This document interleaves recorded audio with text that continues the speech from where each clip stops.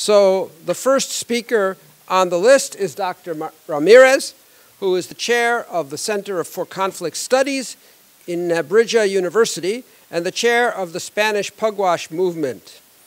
Pugwash, the Pugwash movement won a Nobel Prize in 1995, a Nobel Peace Prize. So they have been doing some very important, meaningful work, which maybe Dr. Ramirez will tell us more about. Uh, he studied medicine, humanities, and law.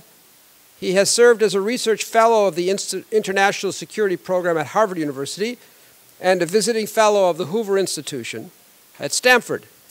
He's on the advisory board of the Society for Terrorism Research and as well as on the advisory board of the Professors World Peace Academy. So here we are now going to have a talk by Dr. Ramirez, and I welcome you heartily to this session.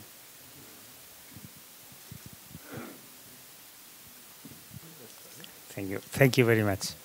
Well, I will start obviously thanking the organization for the kind invitation they have given to me. Uh, and I, have a special gratitude to, all these uh, unification movement uh, because I I had the luck of meeting them 45 years ago, which is uh, almost half a, a, century. And I am quite glad because they have uh, teach me many things on those topics. Uh, also, as you see, well, I, I started at the university in, in, the 50s of the last century, which means that uh, I have more than half a century of experience. And uh, what I've done is first following that interdisciplinary approach that is so well um,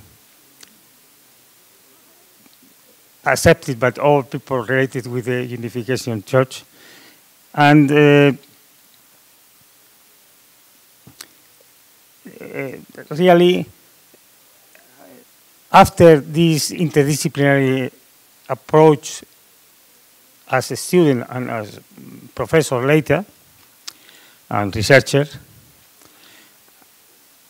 I've tried to choose as my main research field aggression, violence, terrorism, conflict, but obviously uh, the aim has been to solve or deepen in the knowledge of those topics, trying to solve uh, the problems and looking forward to the a, that lasting peace that all of us want to achieve. And uh, since the time I have is short, and you have also uh, the paper they have asked me to write about this, what I'm going to do is just a, a very short, fast uh, presentation of my steps during those almost 60 years of work at the university. I'm finishing, well, let me see. Yes, well, here is. So first, uh, how I start doing cross-cultural interdisciplinary studies. I focus especially in the control of violence, the research of terrorism and security. And obviously, uh, since more than a quarter of a century, I am in Pugwash, as the, mm, uh, the moderator has told us. And uh, the last part of the meeting, or the talk in this meeting, will be just to put you some examples which show that uh, religion and science are not incompatible, but on the contrary, they match quite well together. First, I, I did my graduate studies and those universities uh, of, in Spain, and then I did my PhD in Berlin and uh, in with the European School, and then uh, also I did my studies of uh, security in the Spanish Defense University. And as postdoc, I was at Stanford and at Harvard. Uh, I teach uh, my students in different fields of humanities and of science. I, I was professor in medicine, physiology, in psychology, psychobiology, odontology, and education. And I was also, I am still uh, teaching conflict management to studies of uh, law and security in my university. And I've been also honored to mm, have, uh, to be in the jury of different European uh, PhDs uh, by uh, Åbo Academy in Finland and the René Descartes de Paris. Uh, okay. Uh, my research started with a cross-cultural approach. I studied comparative uh, education in the European schools, uh, which was my PhD in education.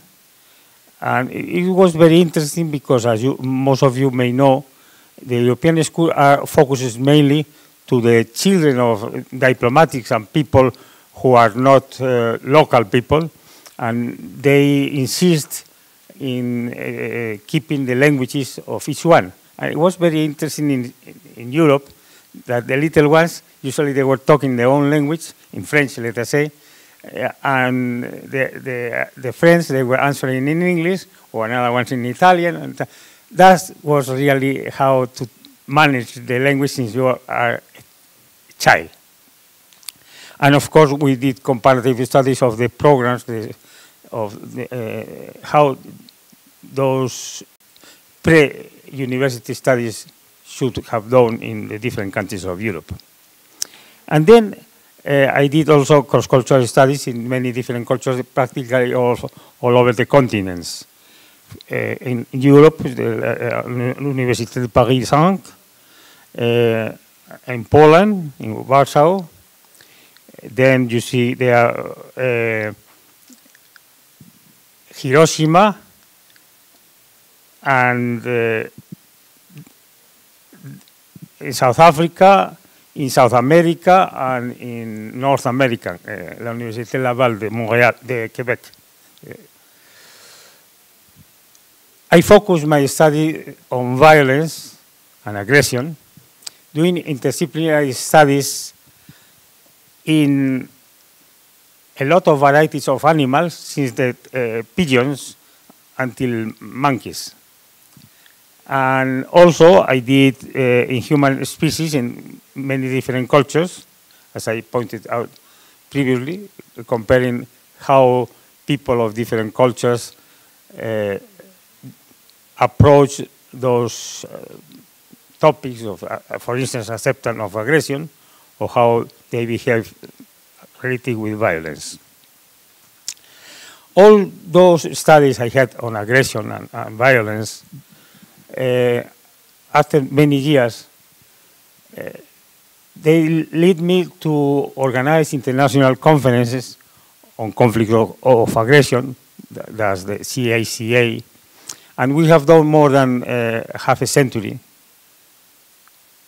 The, the, next one, for instance, will be in two months from now in New Zealand. And practically, uh, at the beginning, I was at that time professor in Seville University, we did it uh, there uh, uh, in connection with the International Society of Research on Aggression. Then I did another series of CICA meetings in relationship with the Society for Terrorist Research. And in the last uh, decade, more or less, we are focusing with uh, uh topics related with security and defense in Madrid, in Krakow, in, Pol in Poland. Ah, well, thank you very much, yes. And in Silonia. Well, here you have a map of, uh, you see the countries where we have had that, which are, uh, uh, you see, all over the, the world. Uh, perhaps the most important thing we have done in those conferences is what is known as the Seville Statement on Violence. We start to do that in the 82, and uh, we signed the, the, statement in the 86, and UNESCO endorsed it in the 89. As a matter of fact, a couple of months ago, uh, there was a, a 30th anniversary commemoration uh, in Jerusalem. Uh, the problem is at that area after the, the war is that uh, seeing the victims of violence and uh, the behavior of many people, someone thought that uh, violence was something uh, inherent to the, Europe, to the human biology, and therefore we were not responsible of that. I mean, if we were violent, that's the, the fact. And we try to clarify how biology and the environment influence on aggression uh, in order of giving a message of hope and uh, we study how the genes and the environment influence not only in, on aggression, but in many other behaviors. And uh, let me see, okay. There were five core ideas that uh, is not truth that uh, we have inherited uh, violence from animals, that uh, it is not true that we are genetically programmed to be aggressive or violent, that uh, it's not true that that comes from uh, evolution from other species, that it's not true that we have a violent brain, and it is also not true that we are violent because it is an instinct we have that's in incorrect. I have here a, a, comment which wrote the Dalai Lama on us, and he says that perhaps the most comprehensive statement on the latest research was summarized in the Seville Statement on Violence that got drawn by about 20 of us. And this statement acknowledged that violence does not occur, but they categorically state that it is scientifically incorrect to say that we are violent of those five uh, aspects that I mentioned to you. Well, we have done many other uh, CICA conference later. And then uh, I've done also research on uh, terrorism and security in Spanish institutions and in international institu institutions, as the moderator mentioned, which the two most important perhaps are Harvard and Stanford. So uh, there is where I've been studying conflict.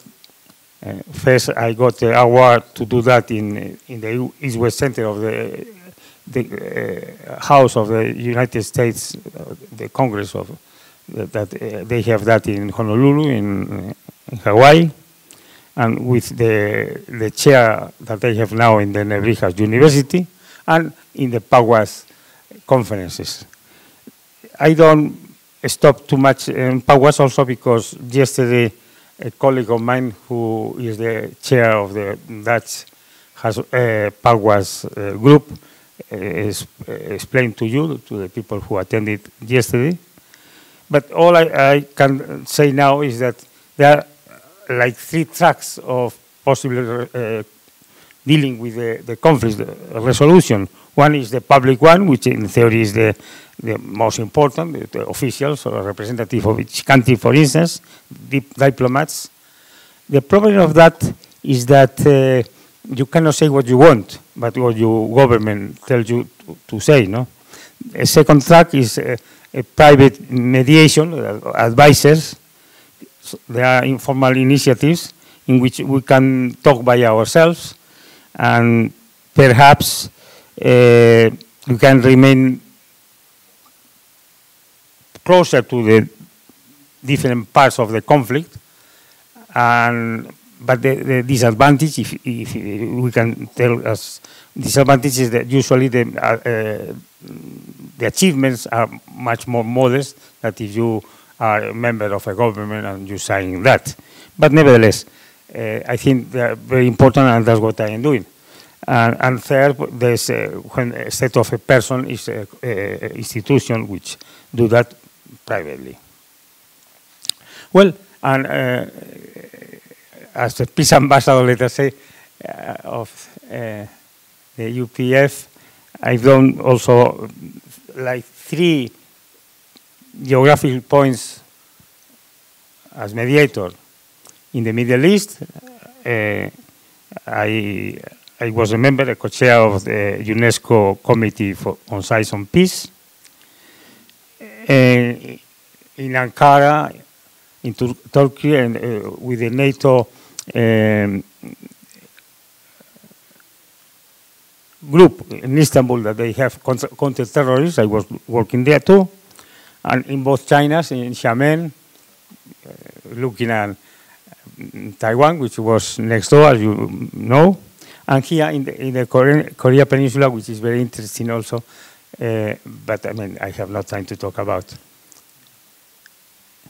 And the last part, which I, I, I may jump a, a, little bit, all I wanted to do in, in, the, in the, last uh, slides is to show that uh, life and science, of course, needs something transcendental, because we human beings are transcendental. And to, to show that in the, in the history, I wanted to offer some historical models of, very important scientists that are in the history of, of science, which were also uh, believers. As a matter of fact, the seven that I talked there, and which are here, were Catholic priests that uh, you may know most of them. But I mean, I since I put that in the in the paper I gave to you, I will stop there and I will not talk about that. And I think that's more or less uh, what I wanted to do, but I, I think the time is gone. And yes, final remarks, who I am, I say. Well, I, I want to see myself as an interdisciplinary scholar, as a citizen of the world, and this morning I was listening, and most of you, that, that uh, global citizens that uh, the former Secretary General of, of United Nations was mentioned, and uh, a traveler that's looking forward to see research all over the world. So a Forschungsreisende, as you could say in, in German. And that's all. That's, I'm sorry that if I, I, was a little bit in a rush, but I knew that uh, we have not so much time. Thank you very much.